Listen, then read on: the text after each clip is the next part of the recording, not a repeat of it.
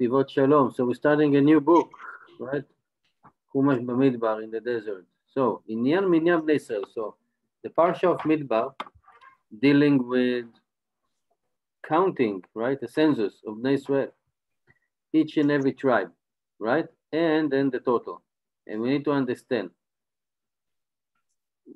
why we should be care about the numbers of Israel, right? Because we believe, we have a faith that the Torah is infinite, right? It needs So well, why do we should we care about the census, about the number, the, the counting of Bnei Israel, something that happened like almost 4,000 years ago? How does it help us today? Right, and you know that of course that it is help us to, uh, today, and the Torah is everything, every word, and everything is relevant to any uh, period of time, right? Also, we should understand why it says, right, מה דכתוב, שאו את ראש כל עדת בני ישראל.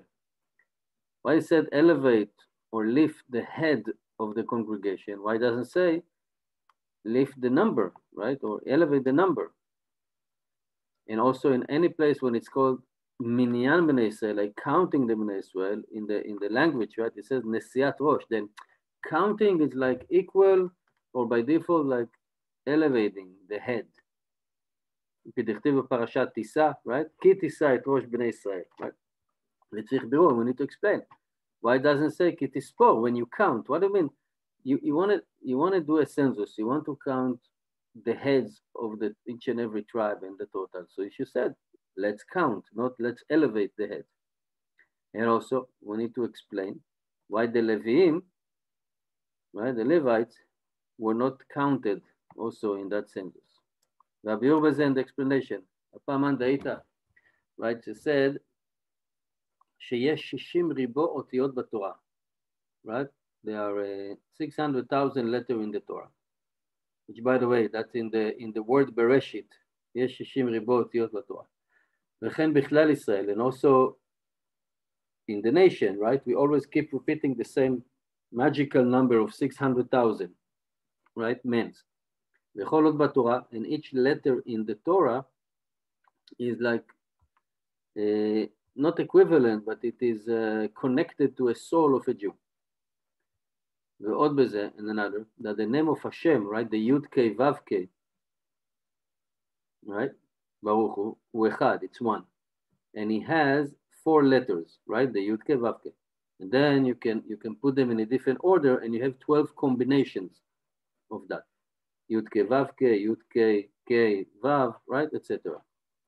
In the book Biasoda Avoda, he says, in the name of the Arya Kadosh, he said, Ad Hashem Avaya, Baruch Hu, Yesh Bo Shishim Ribo Sirufim. It's also, he said, there are also 600,000 combination, but this is something like a little bit complicated to understand when you when you're replacing the Aleph Bet and in Gematriot, etc. We need to trust him that when he said that you can do also 600,000. Then we found that the four letters of the Shem Hashem are also each letter for the four flags of Israel, right? We know that the, each tribe has a flag and also each group, right? They were divided to four groups and also each group have a flag. And the 12 combination of the name of Hashem are again for the 12 tribes that we have. And the 600,000 combination of Hashem Hashem is also against or connected to the 600,000 souls of Israel. And according to that, to what we just learned, it says in the Klalut Israel, so in, in, in, in the general, in the nation of Israel, the Torah light for us, right? Lighting in the name of Hashem, that each and every Jew have one letter that they actually light, and each letter is also connected to the combination of Shem Hashem. It's all related, it's all connected. And also he wrote over there in the Soda Avoda in that book, adam, for a man to be completed, he needs to include himself, right? You need to include yourself with the congregation, with the Klal Israel. And we learned few times that in many of the Sidurim, especially in the Sephardic one, before each davening, before each mitzvah that we do, we have like a, a nusach, we have a few uh, lines and it says, L'shem Yechud Kud Shabrichu, that we have to say that. and it's in Aramaic. And basically what it says, it says, in order for us to unite with Hashem, we are including ourselves with Israel, the nation in the upper world. In order to unite ourselves with the Shem Hashem, Yudke, Vavke, with love and fear. It's a, it's a few words, few sentences that we say before we start to davening, every davening, or every mitzvah that we do. So said, in order for us to be completed, we have to connect ourselves to the Klal Israel.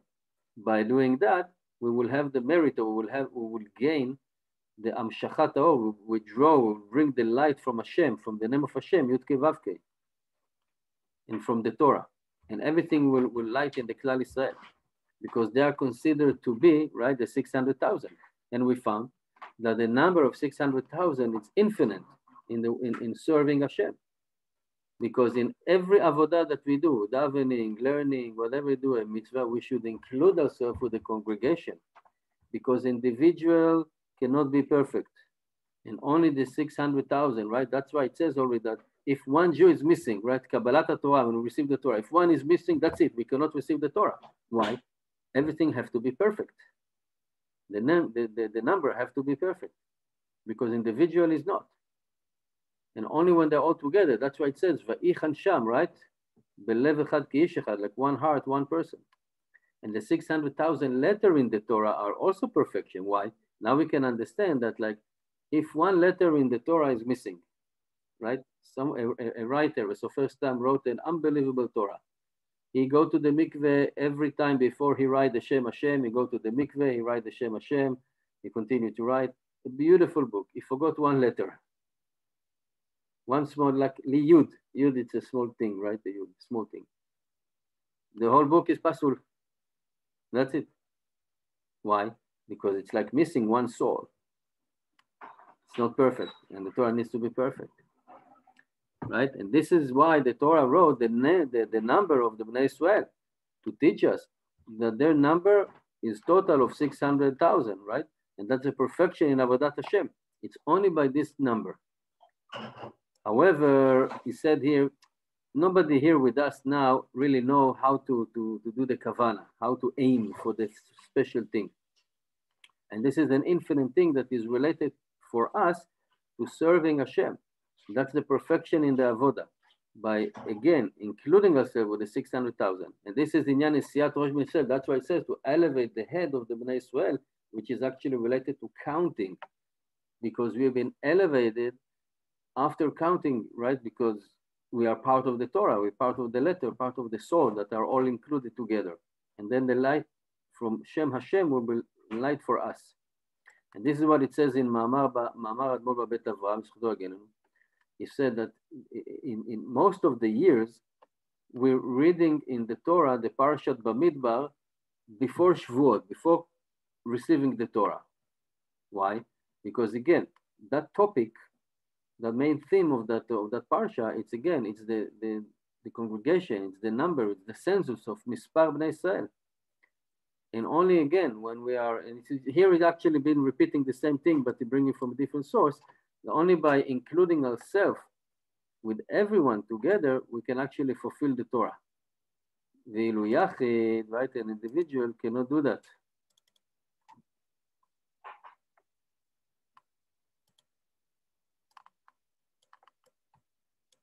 He cannot fulfill the entire Torah. Why?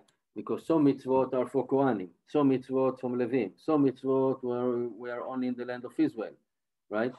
So one person cannot fulfill. If I'm Israel, I cannot do the mitzvot of the Kohanim. But if I'm in a congregation and we have a Kohen in the congregation, when he's doing the mitzvot, then we are all included together, right? So only when you are, we are in a unity, then we can actually fulfill and, and, and keep the entire Torah.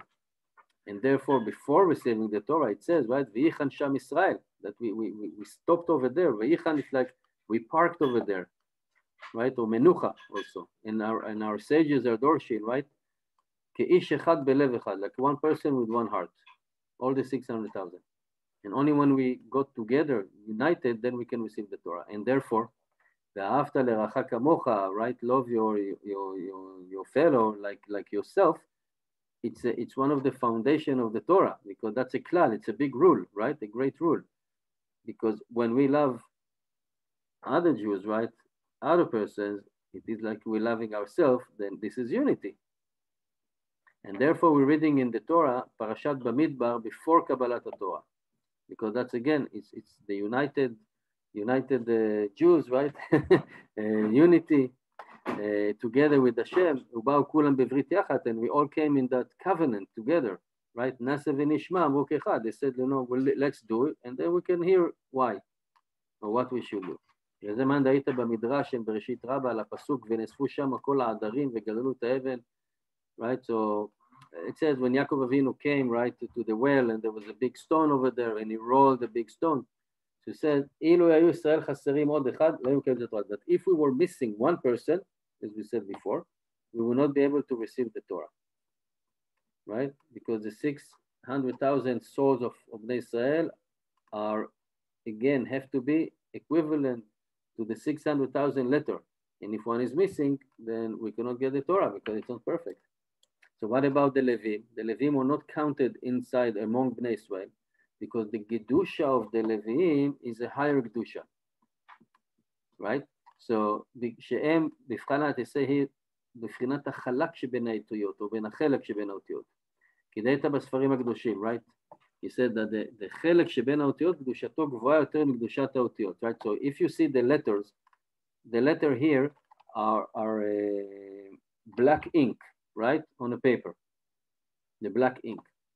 So between the black, you have space, right?